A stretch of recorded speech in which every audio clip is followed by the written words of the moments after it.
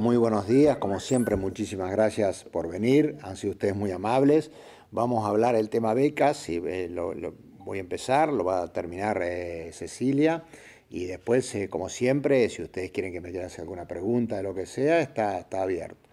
Como todos los años, como antes del fondo educativo, la Municipalidad de Pehuajó da becas que tiene algunos requisitos a cumplir el año pasado las becas que entregamos, si no mm, me falla la memoria, fueron de 1.430 becas. Eh, es un monto con un monto muy importante porque nosotros eh, queremos ayudar a la gente a que su hijo se desarrolle y que puede seguir estudiando. Este año, si cumplan los requisitos, espero va a ser el mismo número más, pero con eh, lo la novedad que tiene que las becas de este año van a tener un aumento de acuerdo a la inflación que ha tenido este gobierno de un año y algo, que es un 40%.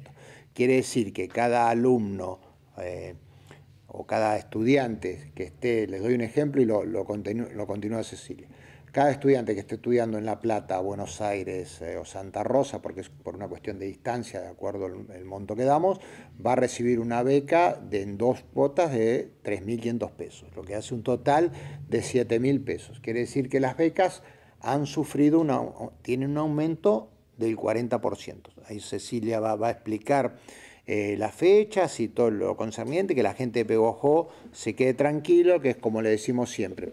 Con esto no es que le vamos a pagar el año de su hijo, pero esto lo ayuda y creo que siempre a veces se ha malinterpretado. Eh, un día dije que a, que se compren un pantalón o una campera y me dijeron, pero con eso se estudia, claro, con eso se estudia, no, con eso también se puede ir a la universidad o que se compren libros o que paguen un alquiler. Es de libre disponibilidad eh, el dinero que le otorga al, el municipio de Pehuajó a quienes están estudiando y con esto lo vuelvo a repetir, para nosotros es algo muy importante la inversión que hacemos porque es el, noveno año que, hacemos esto y que bueno, cuando uno ve que uno ha aportado desde su comunidad para que otra persona de su comunidad pueda tener acceso a la cultura, la verdad que a uno es una de las cosas de, actos de gobierno que, que, mejor lo pone y que lo reconforta ver cómo la gente puede, puede evolucionar y llegar a estudiar desde nuestra ciudad, que ha habido muchísimos estudiantes este, de nuestra ciudad destacados, y esto también le hace muy bien a los pehuajenses en, muchísimos lados de, la Argentina e inclusive en muchísimos lados del exterior. Así que bueno, paso la posta a Ceci para que... Buenos días a todos. Eh, como dijo Pablo, el año pasado se entregaron 1.430 becas, eh, el número fue exacto, por un total de más de 2.600.000. ¿sí? Eh, la idea de este año, vamos a ver cuánta gente se presenta con la solicitud, pero creemos que va a ser la misma cantidad o más. Queremos difundirlos para que se presente la mayor cantidad de gente posibles. Estimamos que vamos a estar entregando arriba de los 4 millones de pesos. Esperemos que así sea, queremos que así sea. Em, por ejemplo, para que ustedes tengan una idea, están divididos como siempre fue, está dividido en tres grupos.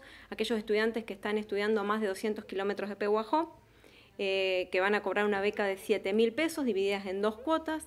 Aquellos estudiantes que están fuera de Pehuajó, pero a menos de 200 kilómetros, que tenemos también, que van a cobrar una beca de 4.500 pesos, también dividida en dos cuotas, todas son en dos cuotas y aquellos estudiantes que estudian en Pehuajó carreras universitarias y terciarias, recordar que esto es para carreras universitarias o terciarias, cualquiera de las dos, y que van a cobrar eh, una beca de 3.500 pesos, ¿sí? también en dos cuotas. Eh, los requisitos eh, los pueden retirar por mesa de entrada del municipio, los pueden retirar por Secretaría de Desarrollo Humano, eh, la entrega de la documentación va a ser en Secretaría de Desarrollo Humano, a diferencia de otros años que lo hemos hecho por mesa de entrada, por una cuestión de orden. Esperamos que la demanda sea más, queremos entregar más. Eh, a partir de mañana ya pueden retirar los requisitos y pueden empezar a entregar la documentación. La fecha límite de entrega es el 12 de abril. Queremos que la primer cuota de becas poder entregarla eh, en el mes de junio, ¿sí? esperemos que así sea. Eh, y bueno, cualquier duda se pueden acercar a la Secretaría de Desarrollo Humano en el horario de 7 a 14. Va a haber gente específica para explicarle cualquier cuestión eh, que le surja.